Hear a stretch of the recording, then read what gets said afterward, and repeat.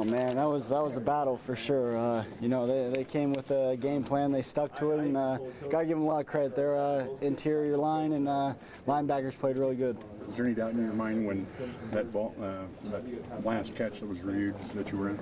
Um, you know, I wasn't sure. I, I landed on top of him, and that's probably probably uh, you know what gave me the benefit of the doubt. But uh, when I got up, I was you know out of bounds, so I wasn't I wasn't sure.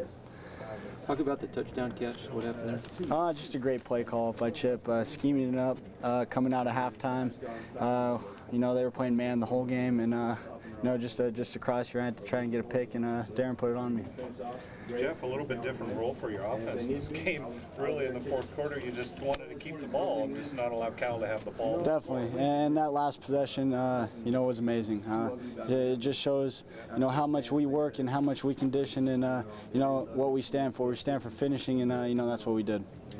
Do you think after you caught the touchdown pass that that was really going to get the offense rolling? Yeah, definitely. I, I thought we were going to, you know, find a rhythm, and then, you know, the next possession, uh, you know, I think we made a mistake, and, uh, you know, like I said, they, they played really good, had a really good game plan for us, and uh, got to give them a lot of credit. What does it say about your team to win a 15-13 game like this, something you haven't done all season? Yeah, uh, got to give us a lot of credit. Uh, shows how, how tough we are, how much we battle, and, uh, you know, how much we, uh, you know, finish.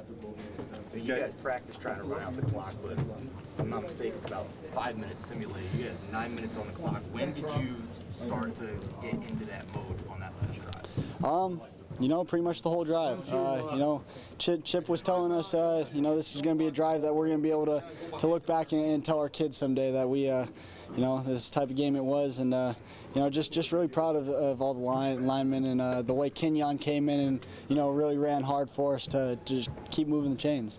Did they hit you as hard as any defenses hit you this year? Did they what? Did they hit you as hard? I mean, were they as tenacious? Um, well, I mean, they, they, I don't know if you could say they hit us any harder than anyone else, but, uh, you know, they, they just stuck to their game plan and, uh, you know, executed it pretty well.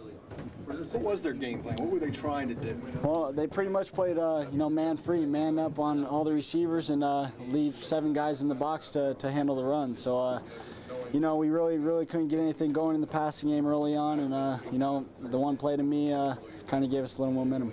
Were they better in the secondary than you thought? Definitely. Um, in, in watching film, uh, you know, we, we knew they were good. We knew they were a talented group.